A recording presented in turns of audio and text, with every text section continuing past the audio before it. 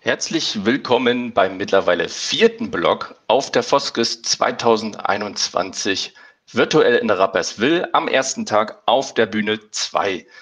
Vorneweg gleich ein Hinweis, wenn Sie Fragen stellen wollen an die Vortragenden, dann haben wir rechts neben der Bühne einen Fragenblock. Dort können Sie die Fragen stellen. Die Fragen können auch gewotet werden und wir versuchen dann die Fragen mit den meisten Votes nach dem Vortrag in einer Antwort- und Fragen-Session zu beantworten. Ja, in den ersten beiden Vorträgen geht es um OpenStreetMap mit dem speziellen Inhalt Naturschutzinformationen. Und wir fangen sofort an mit Sebastian Sachs, denn er erklärt uns, wie man versucht, digitale Naturschutzinformationen und OpenStreetMap äh, zusammenzubringen zu einem nachhaltigen Verhalten in der Natur. Bühne frei. Hallo, Sebastian Sachs, mein Name von Digitize the Planet und ich freue mich heute, euch den Verein, das Projekt, äh, die Ausgangssituation und das Ziel, das wir erreichen wollen, vorzustellen und im Weiteren natürlich auch, welche Chancen und Herausforderungen wir in OpenStreetMap, ähm, der Datenbank und der Community sehen. Und dazu gehe ich direkt über in unsere Präsentation. Ja, wir wollen dem Endnutzer Informationen zum Verhalten in der Natur digital bereitstellen und sehen in USM eine große Chance natürlich mit digitalen Naturschutzinformationen und OpenStreetMap Daten und der Community ein nachhaltiges Verhalten in der, in der Natur zu ermöglichen. Ja, der Verein hat sich zum Ziel gesetzt, mit digitalen Informationen dem User ein Erlebnis mit gutem Gewissen in der Natur zu ermöglichen. Wir wollen, dass jeder die Natur genießen kann und sie dabei nicht bewusst oder unbewusst belastet. Wir wollen dieses Ziel erreichen, indem wir alle wichtigen Vereinbarungen zur Nutzung und zum Verhalten, die für den Schutz der Natur getroffen wurden, digitalisieren und bereitstellen. Was ist die Ausgangslage? Auch unabhängig von Corona erleben wir gerade einen Boom der Outdoor-Sportarten und des Naturgenusses. Das heißt, immer mehr Menschen genießen die Natur, kennen aber oft die Regeln nicht. Was ist die Folge? Der Druck steigt selbst dort, wo strenger Schutz vereinbart ist. Diese Orte stellen aber oft einen besonderen Reiz und einen Anziehungspunkt für Besucher dar. Aber sind eben auch sensible Räume, die durch diesen gesteigerten Besucherdruck über die Gebühr, Gebühr strapaziert werden. Es kommt zu Konflikten zwischen Nutzern aus Naturschutz, äh, Landwirtschaft, Jagd, Forst, Verwaltung, aber eben auch Besucher. Das heißt, Grundstückseigner und Verwaltung werden in der, äh, in der Konsequenz restriktiver im Zugang und wir haben unzufriedene Besucher und Gäste.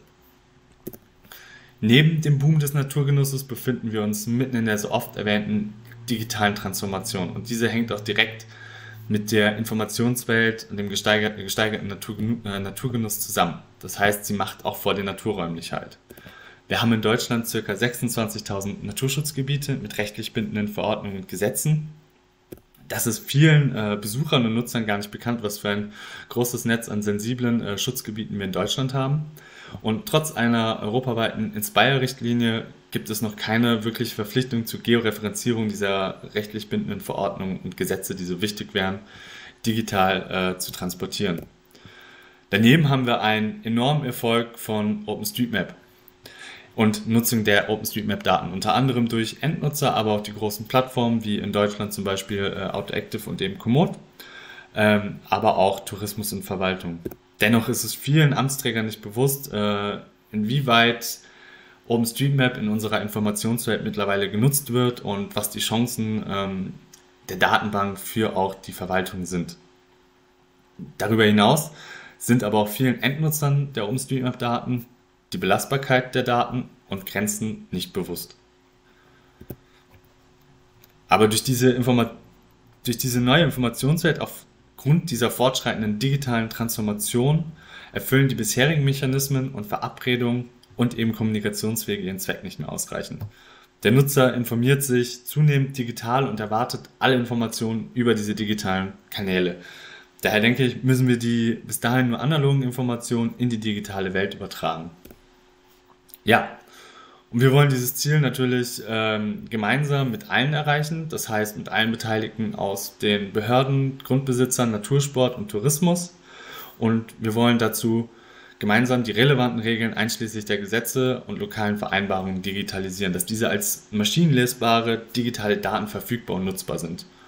Uns ist wichtig, dass die Daten frei und kostenlos als Open Data veröffentlicht werden Und ja, diese Aufgabe hat sich bisher noch niemand angenommen.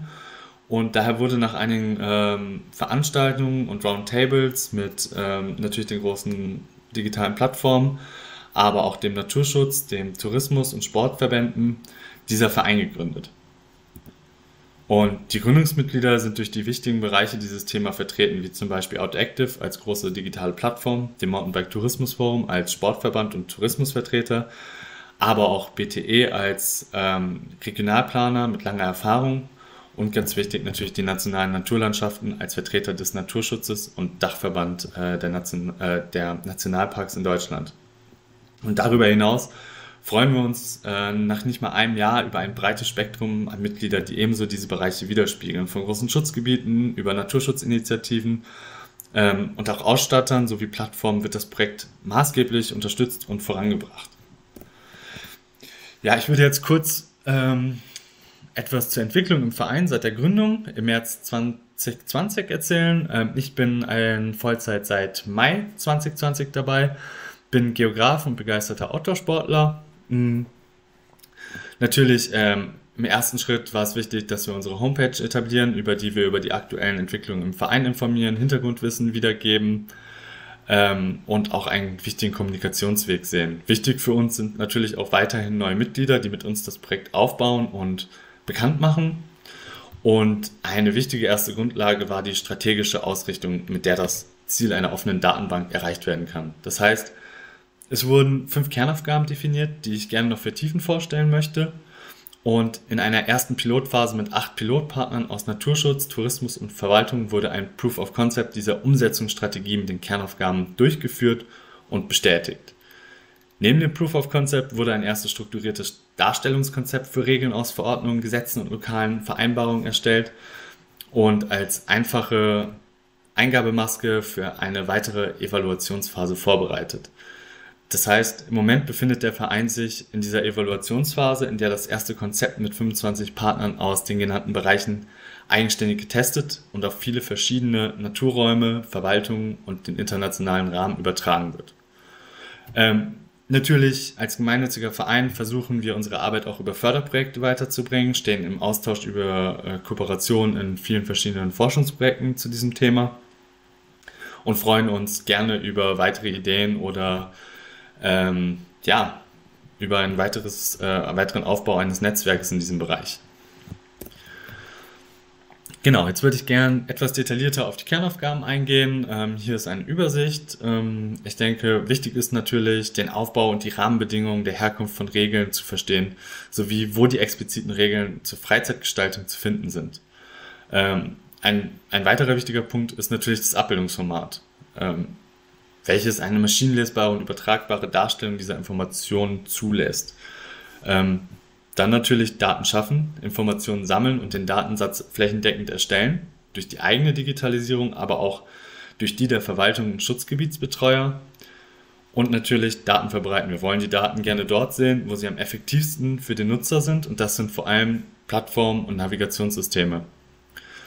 Ähm, natürlich müssen wir aufklären und diese Plattformen und Nutzer erreichen. Das heißt, wir müssen ähm, über die Presse, Forschung und Veranstaltungen darüber berichten, was wir machen, ähm, welchen Standard wir setzen und was der Nutzen davon ist. Aber dazu jetzt mehr zu den detaillierten Kernaufgaben.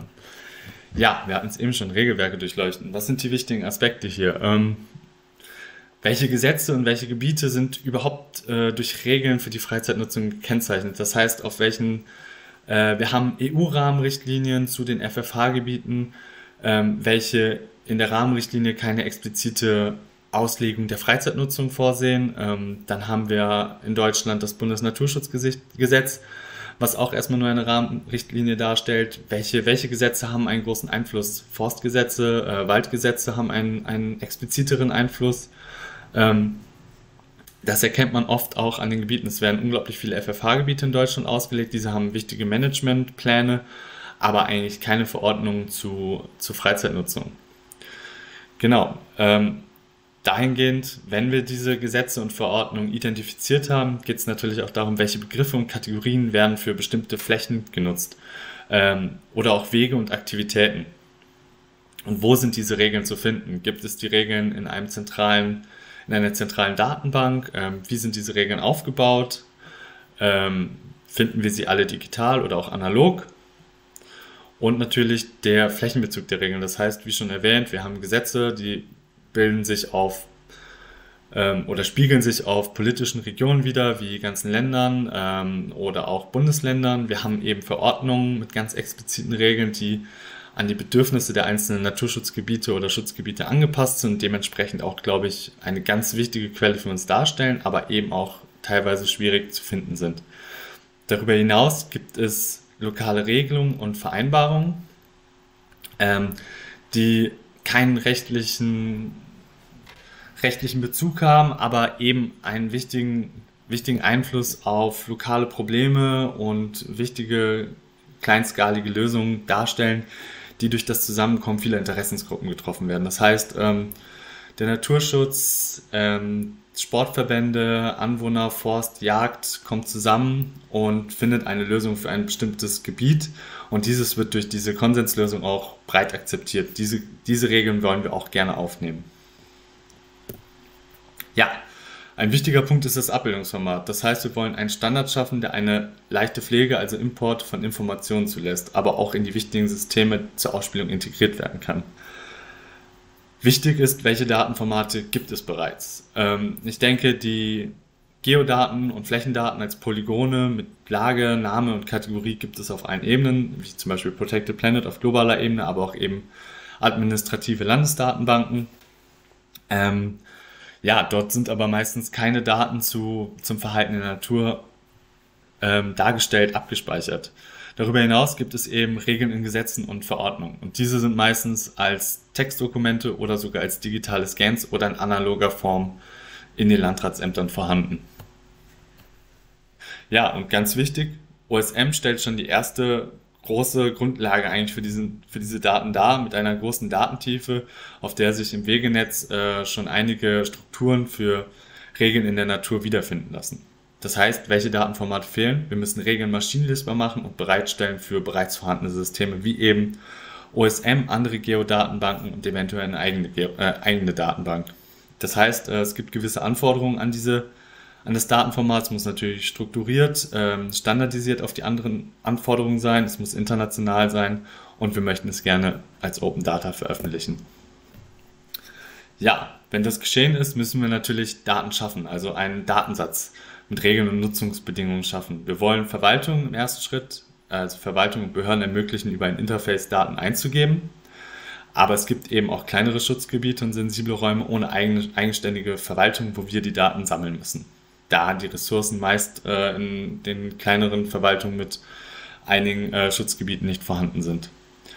Darüber hinaus gibt es natürlich die wichtigen lokalen Vereinbarungen, wie erwähnt, die bereits, äh, die, die häufig durch große äh, Interessensvertreter von Sport, Naturschutz und Tourismus getroffen werden, wie dem DAV. Und dort müssen wir proaktiv auf diese zugehen und die Kanäle ähm, zum Austausch aufbauen. Ja, wir stellen natürlich die Daten frei zur Verfügung, aber unser Ziel ähm, ist natürlich, dass diese Daten auf den richtigen Kanälen wie den Outdoor-Plattformen, Navigation und als deren Grundlage auch äh, OpenStreetMap äh, veröffentlicht werden. Gerne sehen wir natürlich die Daten auch auf weiteren Datenbanken, zum Beispiel Naturschutzdatenbanken. Und daher ist es von Beginn an wichtig, auf das richtige Format und die Schnittstellen zu achten. Ähm, darüber hinaus müssen wir natürlich transparent dokumentieren, ähm, wie und was wir machen und im weiteren Schritt die Plattform motivieren, die Daten zu nutzen. Aus einigen Veranstaltungen, Gesprächen, äh, Gesprächen und Mitgliedschaften der Plattform im Verein zeigt sich aber, dass es keine Motivation von außen braucht. Äh, auch, große, auch die großen Plattformen haben ein großes Interesse daran, ihren Nutzern ein konfliktfreies Erlebnis zu ermöglichen und zusammen mit Naturschutz eben eine nachhaltige Nutzung zu gewährleisten. Aber aus genau diesen Punkten ergibt sich auch die letzte Kernaufgabe, das Aufklären. Natürlich ist es wichtig, Nutzer, aber auch Naturschutz, Behörden und Verbände darüber zu informieren, was wir machen, welches Problem wir angehen und zum Mitmachen motivieren. Natürlich können wir über unser wachsendes Netzwerk zu einem Know-how-Austausch führen und mit Daten konkrete Probleme vor Ort sammeln und identifizieren. Wir möchten diese Probleme oder Konflikte nicht moderieren, aber wir können Transparenz mit unseren Daten schaffen.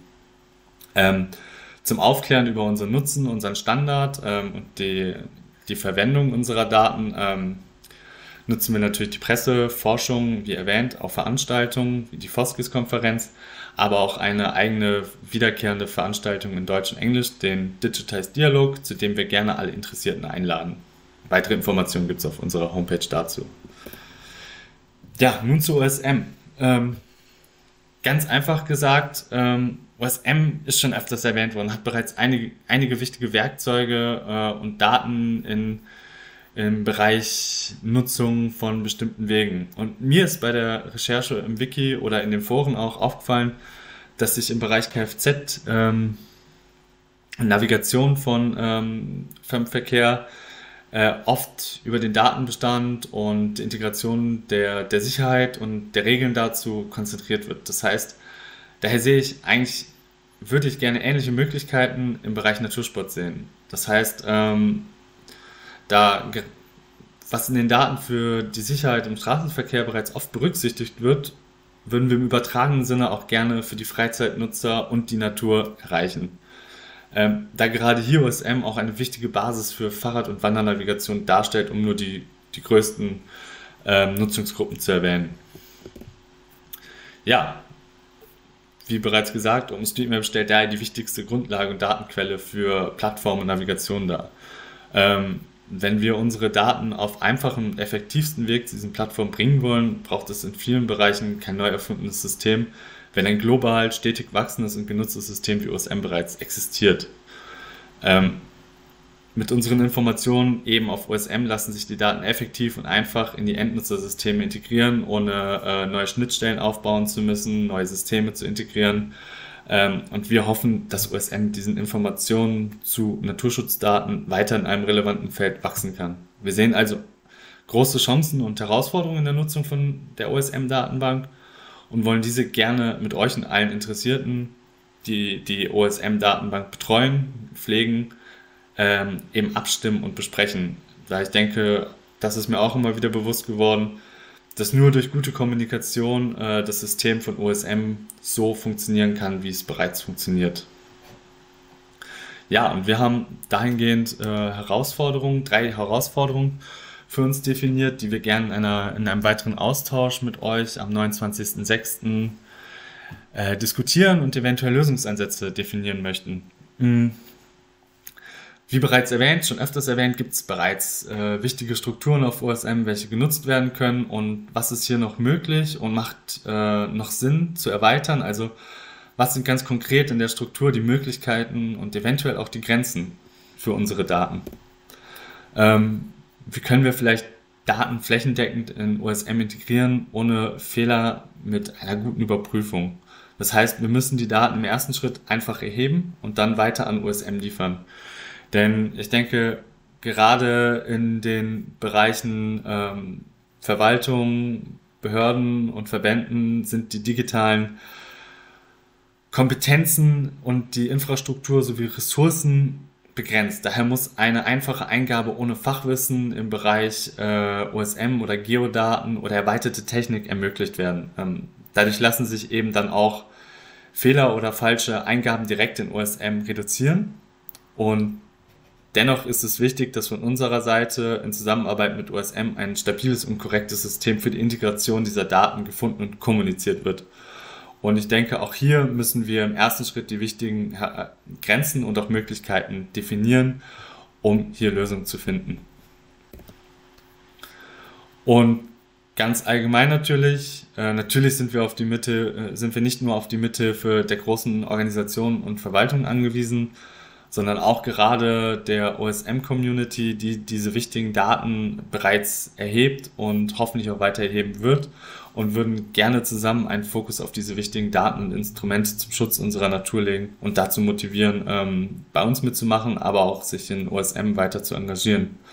Ähm, wie bereits erwähnt, würden wir im übertragenen Sinn dem Freizeitnutzer gerne ermöglichen, sich die, die weiteren Informationen auf digitalen Systemen ähnlich wie bei der Autonavigation verlassen zu können. Und ich glaube, dazu brauchen wir ganz wichtig die Mitarbeit der Community. Ja, da nochmal ganz konkret äh, die Einladung zum Austausch am 29.06. um 18 Uhr. Ähm, die Anmeldung ist auf unserer Homepage möglich und wir freuen uns über eine große Teilnahme Und ja, dahingehend Arbeit an diesen interessanten Herausforderungen und Chancen für unseren Naturschutz. Und danke für die Aufmerksamkeit und gerne könnt ihr euch bei Fragen oder auch Anmerkungen auch nach der Foskis-Konferenz noch gerne bei mir melden. Dazu seht ihr hier meinen Kontakt oder einfach über die Homepage und das Kontaktformular. Vielen, vielen Dank und viel Spaß noch. Ich freue mich auf eure Fragen. Vielen Dank, Sebastian, für diese für viele wahrscheinlich neue Perspektive, die du in diesen Kontext OpenStreetMap damit reinbringst. Viele denken wahrscheinlich von Anfang an gar nicht an dieses Thema. Da geht es hauptsächlich darum, okay, ich kann hier was mappen oder ich bin aktiv. Ähm, sehr interessant. Äh, wir haben die ersten Fragen. Ich hätte dann auch noch eine. Äh, bist du der Meinung, dass das vermehrte Eintragen von Schutzgebieten in OpenStreetMap durch die Mapper helfen könnte. Denn dann könnten Anwendungen dem User bewusst machen, dass sich der genutzte, derzeit genutzte Weg darin befindet. Es gibt Wochenprojekte, in denen man das thematisieren könnte. Da geht es also Absolut. um die Methode. Genau, ich glaube, das ist der erste wichtige Schritt, weil ich glaube, vielen ist gar nicht bewusst, äh, wenn sie sich draußen bewegen, ob sie sich in einem Schutzgebiet befinden oder nicht. Und ich glaube, viele der Mapper hier, auch die sich mit dem Thema auseinandersetzen, wissen, wie dicht eigentlich das Schutzgebietsnetz allein in Deutschland ist. Ähm, dementsprechend, ich glaube, das ist ein ganz wichtiger erster Schritt, äh, den Leuten mal Platz machen. Man, befindet sich in einem Schutzgebiet und ähm, ja, welches Schutzgebiet und was sind die Besonderheiten? Da weißt du denn, ob diese Daten vom Bundesamt für Naturschutz werden die, glaube ich, äh, aufgenommen oder weitergegeben, ob die denn auch Open Source wären, also Open Data, dass man die auch dann wirklich in OpenStreetMap eintragen könnte? Ähm, das ist eine gute Frage. Ähm, wir haben, es gibt bereits einige Datenbanken, mit denen wir uns eben auch beschäftigen, die wir uns angeguckt haben von Daten. Es gibt auch globale Netzwerke. Ähm, Dementsprechend wäre das ganz interessant. Ich weiß es jetzt aus dem Bereich in Tirol, da sind es äh, Open Data. Da kriegt man alle Daten frei zur Verfügung auf dem Tires-Server. Ähm, das wäre natürlich in Deutschland auch nochmal interessant, genau herauszufinden, was Open ist und was eventuell nicht. Nun ist es ja so, ein großes Credo von OpenStreetMap ist, äh, ich mappe das, was ich sehe. Nun kommen ja denn eine Vielzahl von Informationen dazu, die man aber so draußen nicht erkennt. Habt ihr da schon Austausch gehabt mit OpenStreetMapern, wie sie dazu stehen? Genau, ich habe mich im Vorhinein relativ viel ähm, ja, mit einigen unterhalten und genau das ist immer auch die erste Hürde, die ich im Zusammenhang mit OpenStreetMap gesehen habe und sehe aber immer wieder Beispiele, wo ich glaube, so eine gewisse Grauzone zu sehen ist. Also auch andere in anderen Bereichen ähm, ja Dinge gemappt werden, die jetzt nicht unbedingt relativ schnell in der äh, reellen Welt überprüfbar sind. Ähm, habe dazu auch Meinungen aus der OpenStreetMap Community äh, mit verschiedenen Mappern am Stammtischen.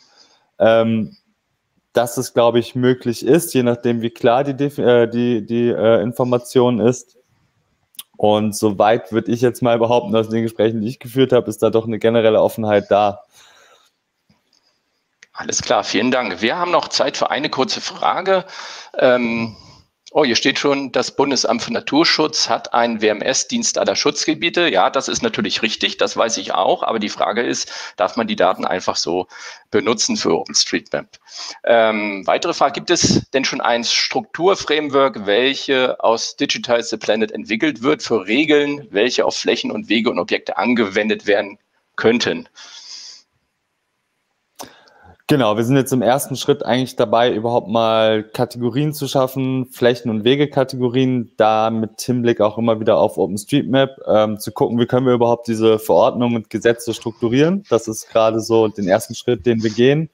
Da arbeiten wir mit einigen Schutzgebieten zusammen, sind da jetzt quasi auch in der zweiten Phase, wo wir diese Struktur überprüfen. Das ist im Endeffekt erstmal eine ganz einfache Tabelle ähm, und möchten jetzt gucken, lässt sich das auf die Vielzahl der verschiedenen Schutzgebiete, zum Beispiel in Deutschland, von der Küste bis zu den Alpen anwenden. Ähm, und dann geht es im nächsten Schritt wirklich, das in, eine, in ein Datenformat zu übertragen, das dann genutzt werden kann. Eventuell dann eben auch mit einem ersten Interface, das wir dann gerne testen würden. Genau. Danke. Ein kurzer Hinweis noch, keine Frage. Im Straßenverkehr werden die Regeln durch Verkehrszeichen nachvollziehbar und rechtssicher angegeben. In Schutzgebieten sollte auch deutlich sichtbar angezeigt werden, dass auf diesem Weg zum Beispiel Radfahren verboten ist. OSM ist kein alleiniges Werkzeug zur Besucherlenkung. Ähm, kurzes Statement dazu. Ähm, Gebe ich bestimmt auch recht. Ich glaube, kann man sich eventuell auch so ein bisschen fragen, ähm, wollen wir in der Natur so einen Schilderwald wie wir in dem Straßenverkehr haben? Ich glaube, mit dem Auto ähm, sind wir auch einfach nochmal eine viel größere Gefahr als eventuell mit dem Mountainbike auf einem Forstweg. Ähm, aber natürlich, ich denke, ja, ich denke doch eigentlich, dass OpenStreetMap ein ziemlich gutes Mittel äh, für eine nachhaltige Besucherlenkung sein kann. Da geht es jetzt nicht um wirklich die Lenkung, sondern dem Besucher auch einfach die Information geben, weil ich glaube, jeder möchte sich eigentlich auch dementsprechend verhalten und Konflikten aus dem Weg gehen oder sie eben vermeiden.